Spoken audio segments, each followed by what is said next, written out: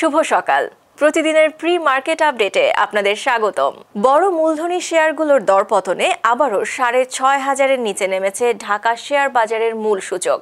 ডলারের বিপরীতে টাকার আবারও অবমূল্যায়ন হওয়াতে যেসব স্টকের মূল্য সম্প্রতি বৃদ্ধি পেয়েছে, বিনিয়োগকারীরা সে সকল স্টকে প্রফিট বুকিং করছেন। চার বছর পর এজিএম এর ঘোষণা দিয়েছে কেলেঙ্কারিতে ক্ষতিগ্রস্ত ইন্ডাস্ট্রিয়াল ফাইন্যান্স কোম্পানি ঋণ বিতরণে অনিয়মের ফলে এই এনবিএফআই কোম্পানির ঋণের সাতানব্বই শতাংশই খেলাপি হবার পাশাপাশি সেপ্টেম্বর দুই হাজার বাইশ পর্যন্ত এক হাজার একশো একচল্লিশ কোটি টাকার নিট লোকসান হয়েছে। গ্লোবাল ইসলামী ব্যাংকের আইপিওর লেনদেন আগামী ষোলোই অক্টোবর থেকে বাজারে শুরু হবে।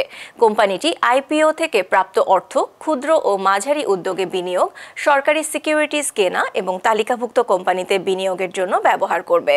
বিমা নিয়ন্ত্রক সংস্থা বিমা কোম্পানিগুলোকে তাদের সিইওদের অতিরিক্ত বেতন এবং সুবিধা দিতে মানা করেছে।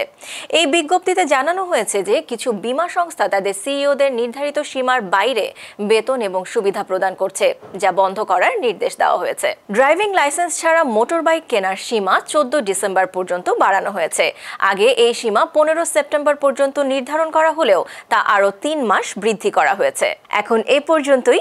বিকেলে আবারও আসছি ডেইলি মার্কেট আপডেট নিয়ে। সেই পর্যন্ত আমাদের সাথেই থাকুন।